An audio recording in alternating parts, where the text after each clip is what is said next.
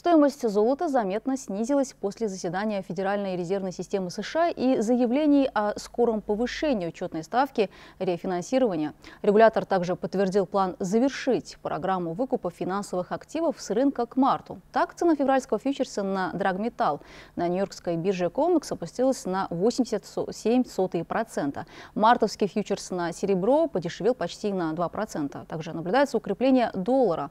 Он подорожал по отношению к другим валютам, а индекс доллара вырос на 0,7%.